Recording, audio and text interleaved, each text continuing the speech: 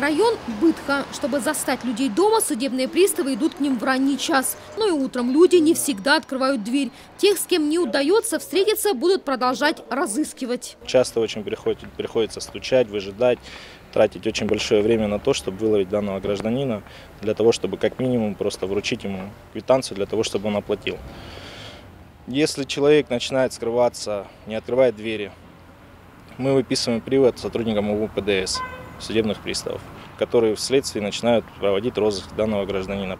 Дверь одной из квартир все же открывается. Уведомления вручают матери должника. Женщина обещала проинформировать сына, который здесь прописан, о задолженности по транспортному налогу. С учетом пени уже набежало 15 тысяч рублей. Именно транспортный налог является самым проблемным. Его чаще всего и не оплачивают. На втором и третьем месте уже налоги на имущество и землю.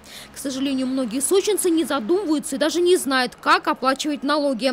А тем не менее срок оплаты до 1 декабря. Далее набегают проценты. Если опять же не будут уплачены налоги, то есть мы будем вынуждены применять в рамках статьи 48 налогового кодекса э, взыскание э, с применением обеспечительных мер, то есть принудительное взыскание.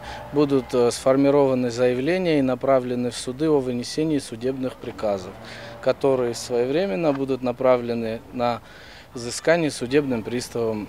В этом году судебными приставами Хосинского района взыскано более 368 миллионов рублей. Рейды с участием представителей налоговой службы, службы судебных приставов и районной администрации продолжаются. Елена Овсецина, Алексей Давыдов, телекомпания «ФКТ».